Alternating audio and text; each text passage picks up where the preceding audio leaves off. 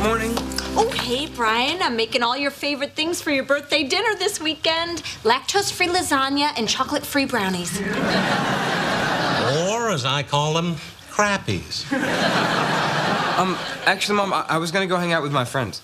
Don't you want to spend your birthday with your family? Judy's turning 18. Let him have a wild night out with his buddies, howl at the moon. So, how are you going to spend your first night of manhood?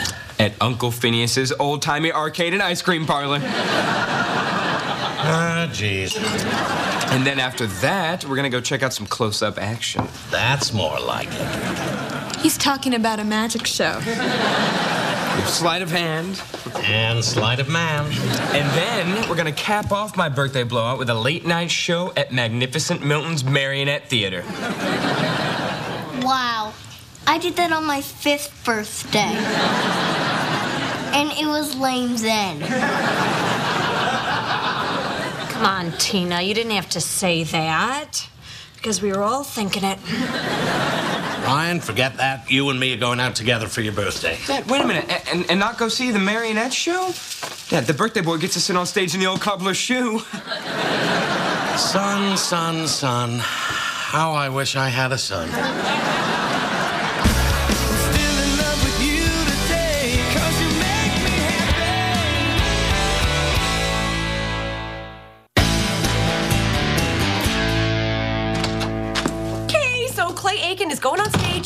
Who's ready to soft rock? Yeah, I'm sorry, Aunt Linda. I can't go to the concert. I have homework. You're trying to blow me off? You don't do homework. I actually was gonna try to blow you off, but I really do have homework. Well, um, okay, I can't go to a Clay Aiken concert without a teenage girl and look like a weirdo. Is Brian around?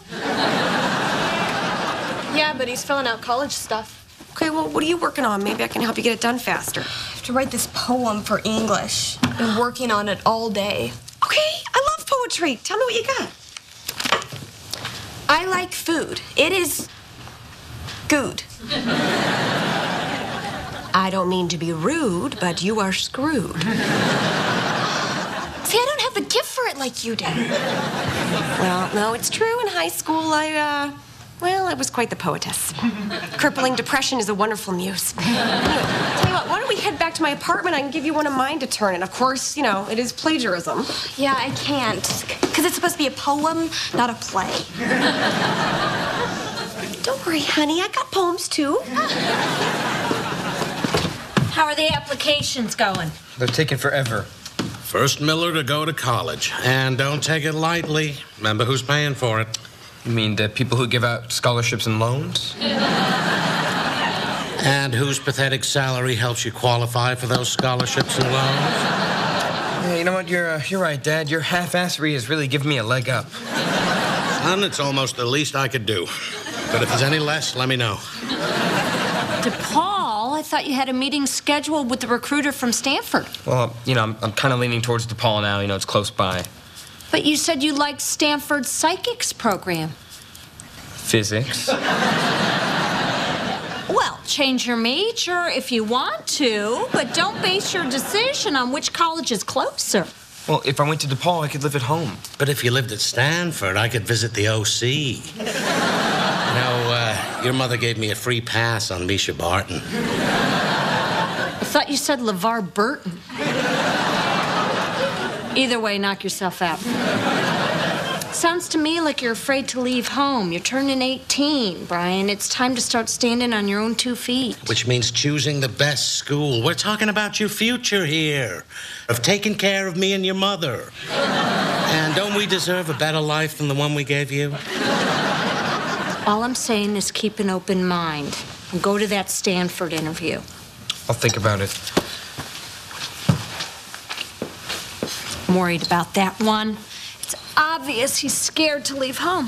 Face it, Judy, these kids have it too good here. Three meals a day, we've overfed them. We've let Brian stay little boy too long with the puppets and the magic and the action figures. When you take him out tomorrow, tell him he needs to be more independent and, and push this Stanford thing. Don't worry, I got it covered. I'm going to teach him everything he needs to know about being a grown up man. Aw, I spilled. Arms up.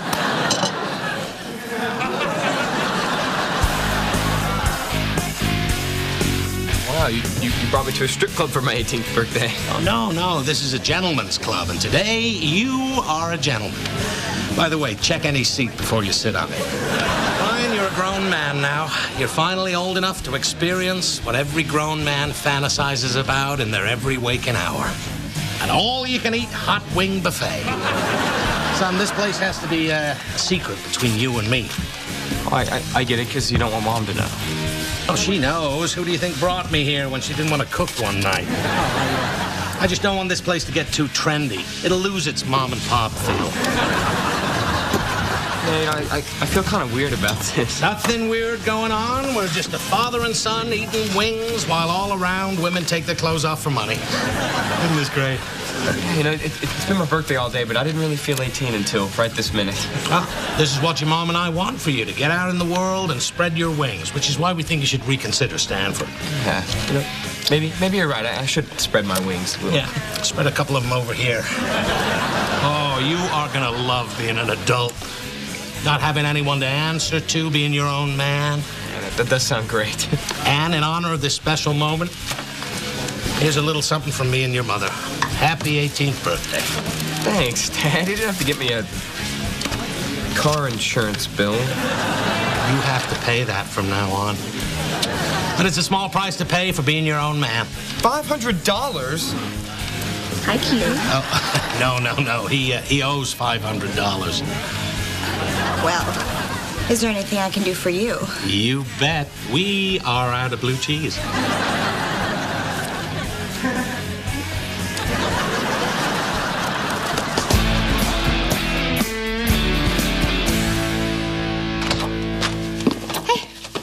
So, how'd it go with that poem I gave you? I hope it was okay. Actually, it's been kind of a nightmare. Really? Why? What happened? Teacher didn't like it? No, he loved it. In fact, I have to read it at some dumb poetry contest. Uh, the iambic pentathlon? Yeah, I, I think that's it. Just wish Mr. Unger hadn't made such a big deal about it. What, Mr. Unger? I had him. He gave me a C minus on that poem. Hmm. Gave me an A. He gave you an A? And you're going to the pentathlon? Well, I never made it to the pentathlon. Wait a minute. Wait a minute. I know what this is about. You are pretty and popular, and in high school, I was sexually confused and going through a very awkward stage. More awkward than this conversation? Now, you know what? I have half a mind to tell that Mr. Unger that he is a shallow and hypocritical man. Wait! I just want to read this poem past English and not have to go to summer school, so nobody is going to tell Mr. Unger anything, okay? Okay. Okay. All right. Suppose I should just be happy that my poem is being recognized and I have such a popular and pretty niece. Hmm? pretty. Pretty, pretty, pretty. Way to peak early, honey. Enjoy your 30s. I'm not gonna believe what just happened. I went to pick up Brian from his tutoring job. Turns out he quit two weeks ago. Well, that explains everything. When I was just screaming at you to get me a beer, you weren't even in the house. I'm uh, sorry about some of the language I used. Hey, Where have you been? uh, I was tutoring. Don't lie to me. I'm not lying to you. Yes, you are. You quit tutoring. When were you gonna tell us? I, I, didn't realize I had to. You have to when I don't know where you are every day. So where have you been spending your afternoons? You know what? If you don't mind, I'd really rather not get into it. I do mind. You have to tell me right now. Yeah, hold on, hold on. A few weeks ago, I got a lecture about how I should be more independent and make my own choices. Remember, it was when I got my birthday present, the uh, the car insurance bill for five hundred dollars. Yeah, but but say something. Did, did you pay that? Because when I gave it to you, it was already past due. Yeah, Dad, I did pay it and the late fee, so I believe we're done here. Wait a minute, wait a minute. I know this stamp. It's from that strip club with the wings. Since when do you go there? Dad took me there for my 18th birthday. But that was weeks ago, and you're Mr. Wash My Hands every day. Oh my God, there's tons of them. Is this where you've been spending your Well, if I had been, it's none of your business. Brian, I am so disappointed in you. You spend all afternoon at that strip club and you don't bring any wings home for me? what, is the world out of styrofoam containers? Is it? Huh? Answer me, young man!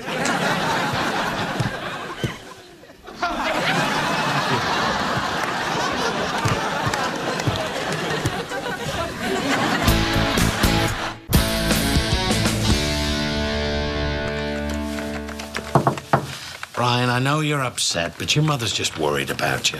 Well, there's nothing to worry about. Listen, uh, gentlemen's clubs may be great for the occasional hot wing buffet or bachelor party, but going every day might be a little much. You know, you need to have a little self control. Self control. Dad, when we were at the club, you ate chicken skin off the floor.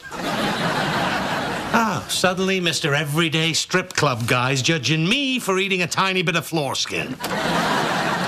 Look, Dad, you, you guys want me to be an adult, but then you want to tell me what to do, and you can't have it both ways, so I'm gonna be going to the strip club whenever I want. And what am I supposed to tell your mother, huh? Huh? No, really, tell me, because uh, you're, you're smarter than I am. Uh, I'll give you 50 bucks. That'll get you a few dances.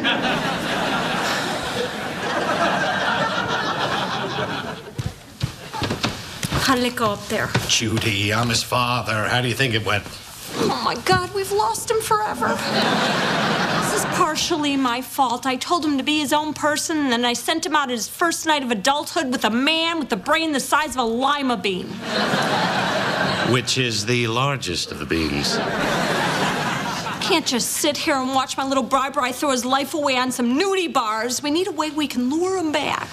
What could Brian like more than boobies, Judy? So where is Master Brian? The show's about to begin. I'm gonna go out on a limb here and say creepier than strippers. Ignore him. Brian is gonna love this. Brian, I have a surprise for you. I'm Judy.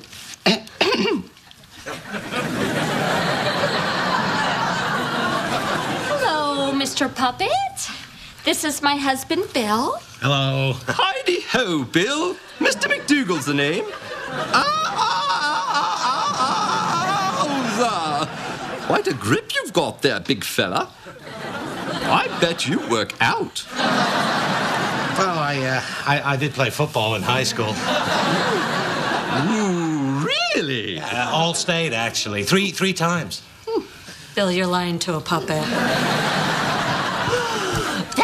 That must be the birthday boy. Wow, the magnificent Miltons! What, what are you guys doing here? Happy birthday, Brian. I figured since you couldn't see the show on your birthday, I'd bring the show to you.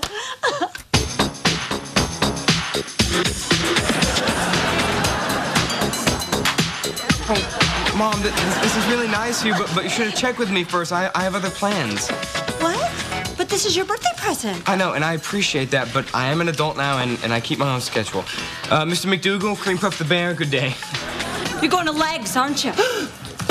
The strip club? Hey, it's a gentleman's club. Yeah, but still, during the daytime? Creepy. Okay, I'm leaving. Goodbye. Well, it's official. I don't have a little boy anymore.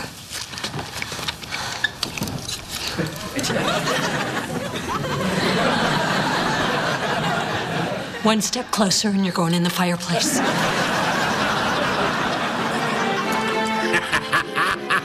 There he goes, skating around with his little skates on. he can do it. He's a good. Oh, oh. oh. he fell off. He can't get up. How can he get up? He's a puppet. Up you go. Come on. You're still here? I, I told you you could go. Well, I figured as long as we paid for them, they could entertain Tina. Which they're not. Oh, and who are you, Sammy Davis Jr.? Could you guys give us a minute? Can the guy who's pulling my strings have a beer? Sure. I was expecting Brian home by now. He's supposed to meet with that recruiter from Stanford at 6. He didn't mention it. I bet he's not even planning on going. I don't like this. He's obsessed with that club, and it's going to ruin his future. I'm going down there and make sure he goes to that interview. You're right, Judy. This is serious stuff. I'll just go settle up with the puppets. Listen, guys, it was fun, but. you, you- you gotta see this. They're playing soccer with a lemon. oh, he scored! Goal! And from the mountains, I do hear echo, echo, echo. Echo. That's it. That was Ethan Johnson reading his poem, Echo. Our next participant is Lauren Miller reading her poem, Searching for Morning.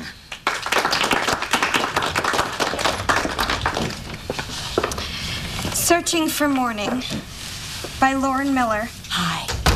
Mr. Unger, it's me, Linda Michaels, class of 82. National Merit Scholar. Valedictorian. I'm sorry, I've had a lot of students since then. Judy Michaels' sister. All right. How is Judy? Truthfully, not aging well. Anyway, uh, I'm just here to see my niece, Lauren. Oh, Lord, yes, she's quite the poetess. Mm-mm, yes, yes, she is. Um, just out of curiosity, uh, does her A poem happen to remind you of a certain C minus poem that I wrote? Not that I recall. Mm. Well, why don't you listen to it? See if it sounds familiar. Searching my soul, unable to find good, I went into the kitchen and I made myself some food. No, no, no, no, no. That's that's not my poem. Good Lord, what did you do to my poem? You changed the ending. What are you doing here? It is supposed to end. Threw myself into the river, died to a block of wood. Well, I didn't want to go out on a downer. It's a poem about suicide. It is? I thought it was about wood. I've just completely mangled my work. It's ruined. I'm emotionally divorcing myself from the piece. I'm done. And the winner is Lauren Miller.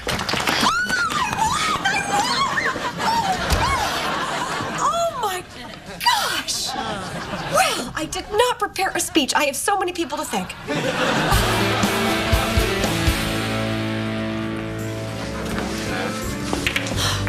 I don't see him around. Oh my God. What? Brian didn't tell me they have a build your own burrito night. It's lies on top of lies. Excuse me, hi. We're looking for a Brian Miller. He's 18, brown hair. Oh, he's in the fantasy room, and I wish you'd get him out of here. I don't like what he's doing with those girls. Did you hear that, Bill? He doesn't like what he's doing with the girls. And he's a sleaze bag. Hey, sleaze bag with feelings. Sorry. Judy, brace yourself. This is one of those things no mother should ever have to see. I've never been more turned on in my life. Now, who can point out the prepositional phrase in that sentence? Yes, Brandy. Brian Miller, what the hell is going on in here? Really, what the hell is going on in here? Mom. What is all this? Well, I'm tutoring the dancers. Uh, I needed money to pay for my car insurance, and when I was here with Dad, I found out that the girls needed some help getting ready for their GEDs. So sadly, it is what it looks like. Hey, Brian, ain't you gonna introduce us to your parents? Excuse me, Brandy. Oh, sorry. Aren't you going to introduce us to your parents? Very good. And no. Mrs. Miller, I just wanted to say that thanks to your wonderful son, I'm on my way to becoming a real nurse. Oh, that's very nice of you to say, Nurse Jugs. Okay, girls, I, uh, I think we're done for the day. Oh, wait, Brian, you forgot to give us our homework. Oh, right. Uh, read chapter five. Thanks a lot, Cinnamon. Can't believe you two came down here. Well, we didn't want you to miss your interview with Stanford. Yeah, that was changed to next week. If you're gonna butt in my life, you should at least get the facts straight. So this is why you quit your tutoring job at school? Well, the ladies pay me more than the English department, plus they, they give it to me under the table. They pay him cash. Oh, God. Well, why didn't you just tell us? Well, I tried, but then he started yelling at me like I was still a kid. You're right. We should have trusted you. But you've got to understand we want you to grow up, but then when you do, we worry whether you're going to make good choices. Did you go get a burrito? Happy hour ends at 6. Okay. I hope this proves that I can make my own decisions. Brian, I never thought I would say this in a strip club, but I'm very proud of what I saw you doing here today. Thanks, Mom. Oh, God, I, I forgot to proofread Brandy's letter to her probation officer. I'm, uh, I'm helping her regain custody of her kid. Did a good job with that one. Yeah, we did. Well, here we are in the fantasy room. Shame to let it go to waste. What, what do you mean? You got 20 bucks? Sure. Oh, Bill, you got burrito on my shirt. Arms up. Okay, here we go.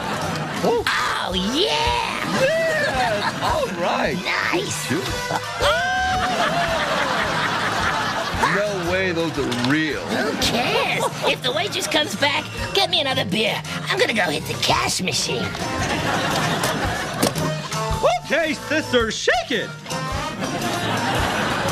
Wait a minute, that is my sister!